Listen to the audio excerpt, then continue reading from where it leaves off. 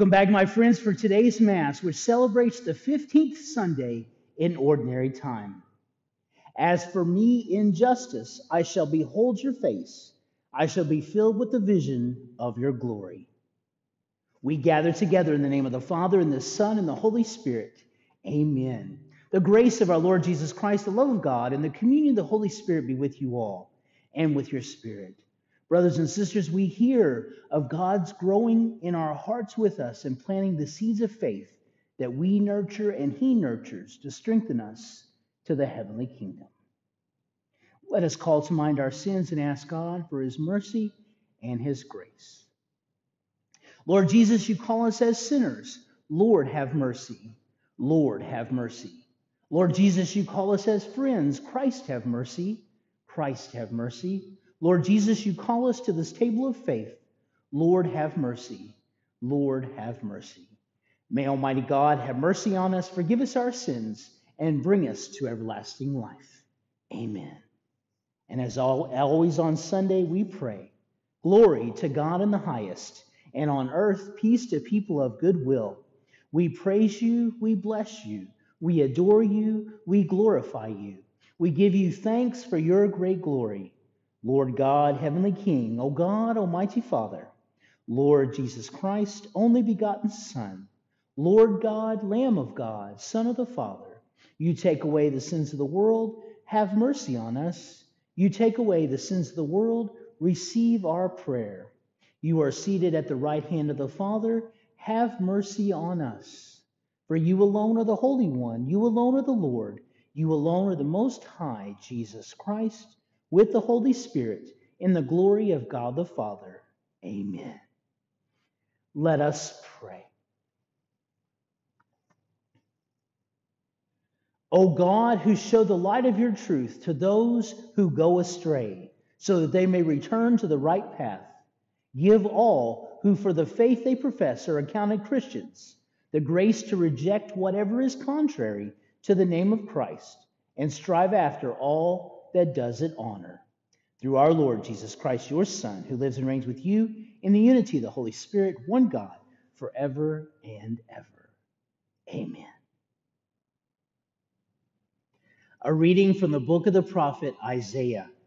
Thus says the Lord, just as from the heavens the rain and snow come down, and do not return there till they have watered the earth, making it fertile and fruitful, giving seed to the one who sows and bread to the one who eats. So shall my word be that goes forth from my mouth. My word shall not return to me void, but shall do my will, achieving the end for which I sent it. The word of the Lord. Thanks be to God. Today's response the seed that falls on good ground will yield a fruitful harvest. The seed that falls on good ground will yield a fruitful harvest. You have visited the land and watered it. Greatly have you enriched it. God's watercourses are filled. You have prepared the grain. The seed that falls on good ground will yield a fruitful harvest. Thus you have prepared the land, drenching its furrows, breaking up its clods, softening of the showers, blessing its yield. The seed that falls on good ground will yield a fruitful harvest. You have crowned the year with your bounty, and your paths overflow with a rich harvest. The untilled meadows overflow with it, and rejoicing clothes the hills. The seed that falls on good ground will yield a fruitful harvest. The fields are garmented with flocks, and the valleys blanketed with grain. They shout and sing for joy. The seed that falls on good ground will yield a fruitful harvest. Today's second reading is from the letter of St. Paul to the Romans. Brothers and sisters, I consider that the sufferings of this present time are as nothing compared with the glory to be revealed for us. For creation awaits with eager expectation the revelation of the children of God. For creation was made subject to futility not of its own accord, but because of the one who subjected it, in hope that creation itself will be set free from slavery to corruption and share in the glorious freedom of the children of God. We know that all creation is groaning in labor pains, even until now. And that not only that, but we ourselves, who have the first fruits of the Spirit, we also groan within ourselves as we wait for adoption, the redemption of our bodies. The word of the Lord. Thanks be to God. Alleluia, alleluia, alleluia, alleluia. The seed is the word of God. Christ is the sower. All who come to him will have life forever. Alleluia, alleluia. My friends, the Lord be with you and with your spirit. A reading from the Holy Gospel according to Matthew. Glory to you, O Lord. On that day, Jesus went out of the house and sat down by the sea. Such large crowds gathered around him that he got into a boat and sat down and the whole crowd stood along the shore. And he spoke to them at length in parables, saying, A sower went out to sow. As he sowed, some seed fell on the path, and the birds came and ate it up. Some fell on rocky ground where it had little soil. It sprang up at once because the soil was not deep. And when the sun rose, it was scorched and withered for lack of roots. Some seed fell among the thorns, and the thorns grew up and choked it. But some seed fell on rich soil and produced fruit, a hundred or sixty or thirty fold. Whoever has ears ought to hear. The gospel of the Lord. Praise to you, Lord Jesus Christ.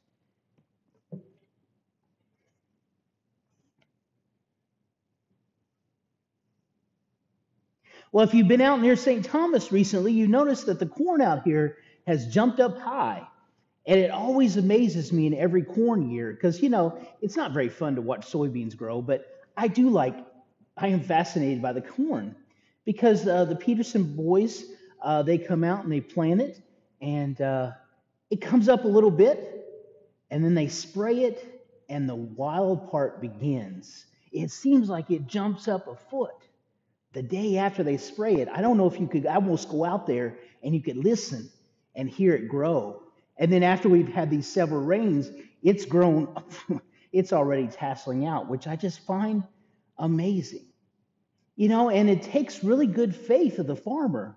Because, you know, we, uh, here in Thomas, we have about 160 or so acres of corn this time. And, you know, to put all that seed out and just hope that something's going to grow. And knowing that all they can do is do that one spray when this corn is still only about a foot high, and then let the Lord do the rest. It takes an amazing amount of faith and just to watch it grow. That must be how the Lord looks at us. You know, He puts the seeds of faith within us, but He is continuously watering us and feeding us with His Word. He speaks about that very clearly in today's first reading. Talk about the Word of God filling our hearts and filling our lives and helping us grow, not just physically, but also spiritually and growing closer to Him. You know, sometimes we deny our own seeds and we forget actually where our seeds come from. It's interesting, a, uh, a couple times during this little quarantine deal, I've seen on Facebook uh, a picture of a farm. And then there's a comment by somebody that says, and I, I don't mean any offense to this person, but they say, I don't know why the farmer's doing all that. Most people just shop at Kroger's or Walmart or Meijer's or whatever the comment says. And it kind of gives you a little chuckle because, you know, us from the country, we, we know a little bit more about where that comes from. But it just reminds me of those seeds of faith. It's not something we can buy, it's not something we can purchase but it's something that we continuously need God's mercy, God's love, and grace to fill that in our hearts. The psalm says it five times today the seed that falls on good ground will yield a fruitful harvest. Now, this brings up a good question Are you actually good? Do you know the answer to that? The answer is yes. You are good. Each one of us is made good by God. And it says in all the Eucharistic prayers, almost the last line of, of, of several of them that talk about God making everything good. Now, you may be looking at your neighbor, or you may be looking at some people in your house or wherever, and you'd be like, hmm, I don't know about that one. Well, you can change that thought right now because God made each of us good and holy and powerful and beautiful, and He wants us to grow. Now, it gets shaded over by sin, it gets shaded over by temptation, gets shaded over by years of regret, years of guilt, and all kinds of stuff gets scattered up so much that we, we get turned away from God just a little bit. Now, can we completely turn away from God? Probably. But I think He follows us. And He's always trying to realign us back to the heavenly kingdom. He provides us with the nourishment and everything that we need to continue this journey. The word we've heard here today, the Eucharist which we'll receive spiritually, all go to nourish our soul and keep us on the right path. So as we watch that corn continue to grow, and in a couple weeks, some little ears are going to form, and it's going to start forming those ears of corn. The tassels are here, so now it's time to start that process. Who's in charge? God's in charge of that. All we can do is watch. For our own spiritual life, what can we do? There are some things we can do to work along with God, whether it be scripture study or maybe even joining RCIA. Even if you're a Catholic who's been a Catholic since you were a little Catholic, RCIA sometimes provides a jump start. Maybe it's uh, helping with uh, religious education in the fall. Maybe it's serving at Mass. Maybe some of these things that put you into the place of God that can help you and strengthen you on this journey once we get back. We're on the cusp, my friends, of a growing revival of the church. And we need you to be a faithful prayer. We need you to use your gifts. And we need you, meaning all of us, all of us use, all of us use to do our part and cooperate with the power, mercy, and grace of God our Father. Amen. Disciples in Christ, let us pray our words of faith. I believe in one God, the Father Almighty, maker of heaven and earth of all things visible and invisible. I believe in one Lord Jesus Christ, the only begotten Son of God, born of the Father before all ages. God from God, light from light, true God from true God, begotten, not made, consubstantial with the Father. Through him all things were made. For us men and for our salvation, he came down from heaven, and by the Holy Spirit was incarnate of the Virgin Mary and became man. For our sake, he was crucified under Pontius Pilate, suffered death, and was buried, and rose again on the third day in accordance with the Scriptures. He ascended into heaven and is seated at the right hand of the Father. He will come again in glory to judge the living and the dead, and his kingdom will have no end. I believe in the Holy Spirit, the Lord, the giver of life, who proceeds from the Father and the Son, who with the Father and the Son is adored and glorified, who has spoken through the prophets. I believe in one holy Catholic and Apostolic Church. I confess one baptism for the forgiveness of sins, and I look forward to the resurrection of the dead and the life of the world to come. Amen. In that cooperation with God our Father, let us now approach Him with our prayers, confident of His infinite love for us. For all bishops, priests, and deacons, may the grace of God nourish them in mind, body, and spirit as they preach the gospel, let us pray to the Lord. Lord, hear our prayer. For all who serve us in public office, may the Lord grant them hearts of justice and compassion. Let us pray to the Lord. Lord, hear our prayer. For those burdened with any manner of suffering, may God renew them in hope that brings consolation and peace. Let us pray to the Lord. Lord, hear our prayer. For all of us gathered today, may the Lord bless each one of us and increase within us a desire to grow closer to Him in all things. Let us pray to the Lord. Lord, hear our prayer. For the repose of the souls of all those who have gone before us in faith, may they see the face of God. Let us pray to the Lord. Lord, hear our prayer. For this weekend's Mass intentions for St. Monica, we're praying for Rita Porter. For St. Thomas, we're praying for Snooky and Bill Newton. For Martha Ann Simpson, and for all the people who worship at St. Thomas. Let us pray to the Lord. Lord, hear our prayer. As always, my friends, we add our own prayer that is on the top of our heart today.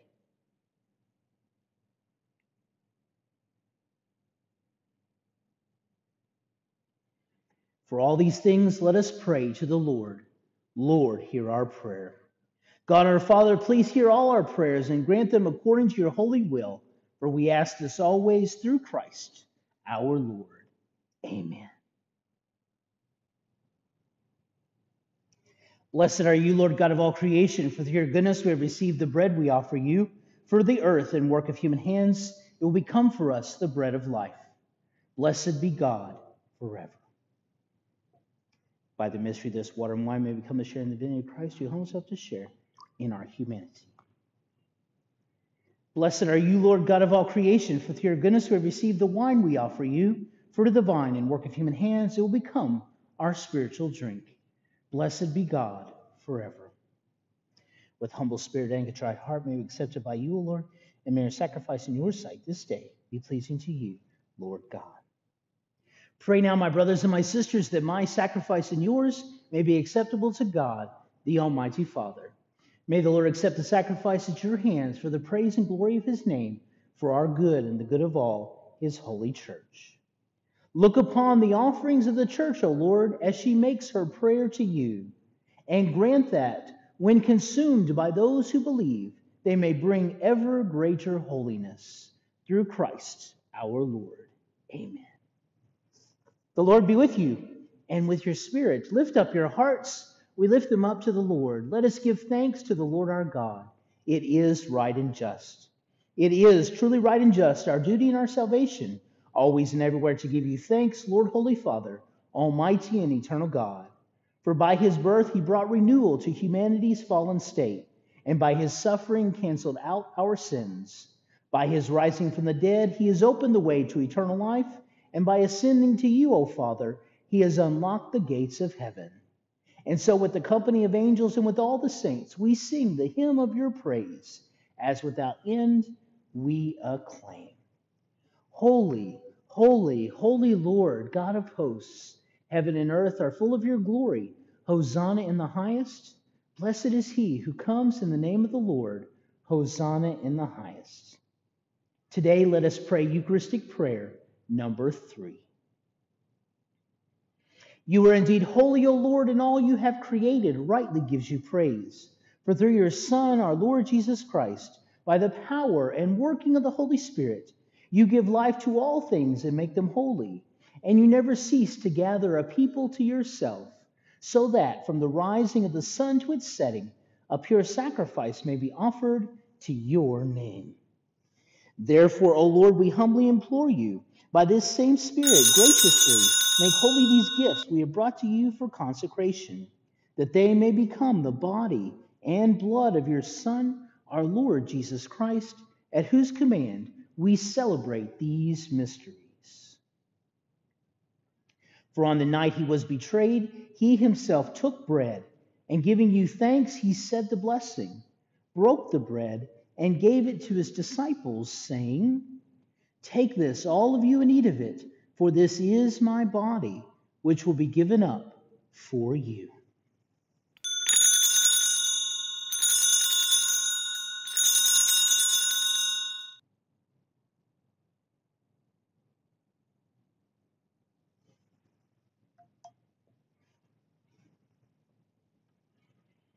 In a similar way, when supper was ended, he took the chalice, and giving you thanks, he said the blessing, and gave the chalice to his disciples, saying, Take this, all of you, and drink from it, for this is the chalice of my blood, the blood of the new and eternal covenant, which will be poured out for you and for many for the forgiveness of sins. Do this in memory of me.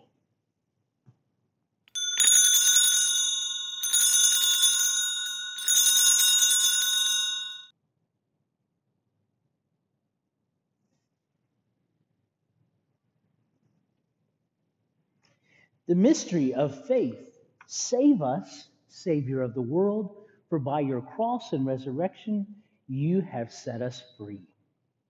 Therefore, O Lord, as we celebrate the memorial of the saving passion of your Son, his wondrous resurrection and ascension into heaven, and as we look forward to his second coming, we offer you in thanksgiving this holy and living sacrifice. Look, we pray, upon the oblation of your church and recognizing the sacrificial victim by whose death you willed to reconcile us to yourself, grant that we who are nourished by the body and blood of your Son and filled with his Holy Spirit may become one body, one spirit in Christ. May he make of us an eternal offering to you, so that we may obtain an inheritance with your elect, especially with the most blessed Virgin Mary, Mother of God, with blessed Joseph, her spouse with your blessed apostles and glorious martyrs, with St. Thomas and St. Monica, and with all the saints on whose constant intercession in your presence we rely for unfailing help. May this sacrifice of our reconciliation, we pray, O Lord, advance the peace and salvation of all the world. Be pleased to confirm in faith and charity your pilgrim church on earth with your servant Francis, our Pope, and Joseph, our Bishop, the order of bishops, all the clergy, and the entire people you have gained for your own. Listen graciously to the prayers of this family whom you have summoned here before you. In your compassion, O merciful Father, gather to yourself all your children scattered throughout the world. To our departed brothers and sisters, and to all who are pleasing to you, at their passing from this life, give kind admittance to your kingdom. There we hope to enjoy forever the fullness of your glory through Christ our Lord, through whom you bestow on the world all that is good. Through him and with him and in him, O God, Almighty Father, in the unity of the Holy Spirit. All glory and honor is yours forever and ever. Amen.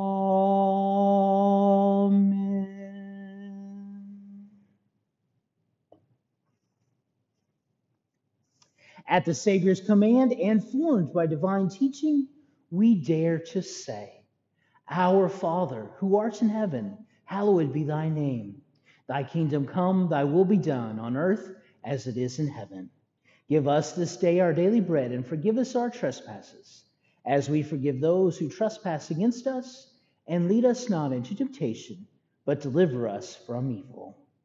Deliver us, Lord, we pray, from every evil. Graciously grant peace in our days that by the help of your mercy we may be always free from sin and safe from all distress as we await the blessed hope and the coming of our Savior, Jesus Christ. For the kingdom, the power, and the glory are yours now and forever. Lord Jesus Christ, who said to your apostles, Peace I leave you, my peace I give you. Look not on our sins, but on the faith of your church and graciously grant her peace and unity in accordance with your will, who live and reign forever and ever. Amen. The peace of the Lord be with you always and with your spirit. Let us offer each other the sign of peace. God bless you, my brothers and sisters. I love you very much. May you continue to grow and strengthen in God's mercy and love, and peace be with you. Lamb of God you take away the sins of the world, have mercy on us. Lamb of God, you take away the sins of the world, have mercy on us. Lamb of God, you take away the sins of the world, grant us peace.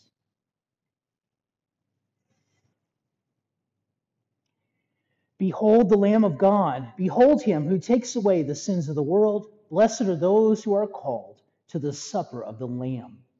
Lord, I am not worthy that you should enter under my roof, but only say the word, and my soul shall be healed. May the body of Christ keep me safe for eternal life.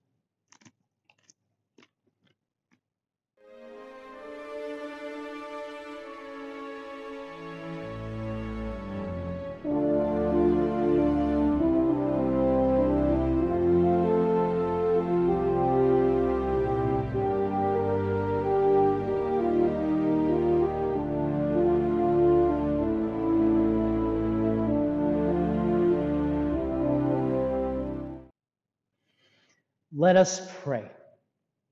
Having consumed these gifts, we pray, O Lord, that by our participation in this mystery, its saving effects upon us may grow.